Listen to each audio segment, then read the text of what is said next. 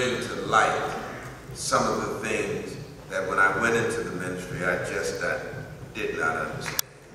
And Dr. Ben, who called me affectionately Butsy, he was, he was, as someone pointed out, I think Dr. Noble, a human being, he was a man.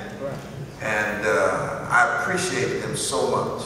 My eyes have been opened, so I hope that going forward, we do have great minds. That's why I acknowledge Dr. Jeffries and acknowledge Dr. Sanford and Camille and so many of Yarbrough and so many others because this process is ongoing.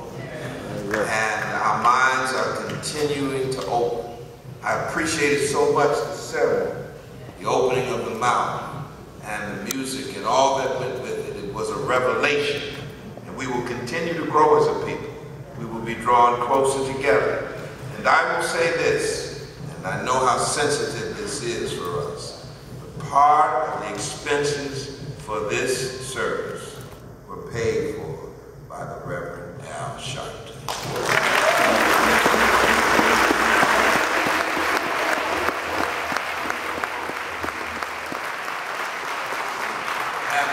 Belongs to Harlem, and it belongs to you.